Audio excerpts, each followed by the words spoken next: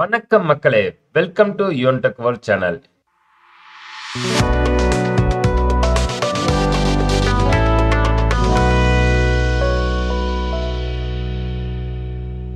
இன்னைக்கு இந்த வீடியோல பார்க்கக்கூடிய ஒரு சூப்பரான இன்ஃபர்மேஷன் என்ன அப்படின்னு பார்த்தீங்கன்னா ஒவ்வொரு மாதத்தின் தொடக்கத்திலும் நிதி சார்ந்த மற்றும் சாராத மாற்றங்கள் அமலுக்கு வருகிறது. அதன்படி ஆகஸ்ட் ஒன்று முதல் வரவுள்ள மாற்றங்கள் பற்றி இந்த வீடியோவில் நம்ம பார்க்க போறோம்.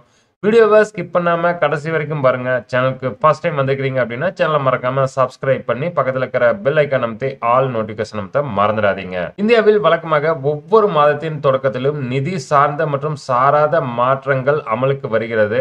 அதன்படி ஆகஸ்ட் ஒன்றாம் தேதி முதல் வரவுள்ள மாற்றங்கள் பற்றி பார்க்கலாம். முதலாவதாக வருமான வரி தாக்கல் செய்யாதவர்களுக்கு ஜூலை முப்பத்தி ஒன்று தான் கடைசி தேதி. ஜூலை முப்பத்தி ஒன்றுக்கு பிறகு அதாவது ஆகஸ்ட் ஒன்று முதல் வருமான வரி தாக்கல் செய்பவருக்கு அவருக்கு உண்டான பெனால்ட்டி அமௌண்ட் வந்து பே பண்ண வேண்டும். மினிமம் அமௌண்ட் பார்த்தீங்கன்னா ஆயிரம் ரூபாய் முதல் ஐயாயிரம் வரை இன்கம் டேக்ஸ் டிபார்ட்மெண்ட் நீங்க லேட்டா ஃபைல் பண்றதுக்கு உண்டான சார்ஜஸை போடுவாங்க. அடுத்தது பாத்தீங்க அப்படின்னா ஹெச்டிஎஃப்சி கிரெடிட் கார்டு யூஸ் பண்றவங்களுக்கு கிரேட் சிஹெச்இக்யூ மோபிவிக் ஃப்ரீ சார்ஜ் போன்ற ஆப்புகளை பயன்படுத்தி வாடகை செலுத்தினால் ஒரு சதவீதம் டிரான்சாக்ஷன் சார்ஜ் பே பண்ண வேண்டும். இது வந்து ஆகஸ்ட் ஒன்று முதல் அமலுக்கு வருகிறது. அதே போல் அதிகம் பயன்படுத்தக்கூடிய வெப்சைட்டில் மிகவும் ரொம்ப முக்கியமான ஒன்று எதுன்னு பார்த்தீங்கன்னா சர்ச் இன்ஜின் கூகுள் தான். ஸோ கூகுள் அதனோட சேவை கட்டணங்களை எழுபது சதவீதம் இந்தியாவில் ஆகஸ்ட் ஒன்று முதல் குறைக்கிறாங்க. ஸோ இது ரொம்ப சூப்பரான நியூஸாக அதே போல் வீட்டு மற்றும் வணிக சிலிண்டர்கள் உபயோகப்படுத்துவதற்கு ஆகஸ்ட் ஒன்று முதல் விலை குறைவதற்குண்டான வாய்ப்புகளும் உள்ளது. அதே போல் இந்தியாவில் சந்தையில் விற்கப்படும் காணொலிகள் புதிய தர நிர்ணய வழிகாட்டுதலை பிஏஎஸ் வெளியிட்டிருக்கிறாங்க.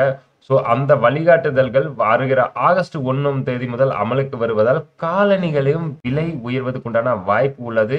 ஆனாலும் இது ஐம்பது கோடிக்கு கீழ் வருவாய் ஈட்டும் நிறுவனங்களுக்கு இந்த விதி பொருந்தாது என்றும் தெரிவிக்கப்பட்டுள்ளது. பிளஸ் டூ தேர்வு எழுதி ரிசல்ட் வெளியாயிருந்தது. ஆனால் அவர்களுக்கு மதிப்பெண் பட்டியல் இதுவரை வழங்கப்படவில்லை. அவர்களுக்கு உண்டான மதிப்பெண் பட்டியல் வருகிற ஆகஸ்ட் ஒன்னாம் தேதி முதல் தாங்கள் படித்த பள்ளியிலே பெற்றுக்கொள்ளலாம் என்று தமிழக கல்வித்துறை வெளியிட்டிருக்கிறாங்க. இவ்வளவுதான் இந்த வீடியோல பார்த்த இன்ஃபர்மேஷன் வருகிற ஆகஸ்ட் ஒன்று முதல் நடைபெறக்கூடிய மாற்றங்களை பத்தி பார்த்தோம்.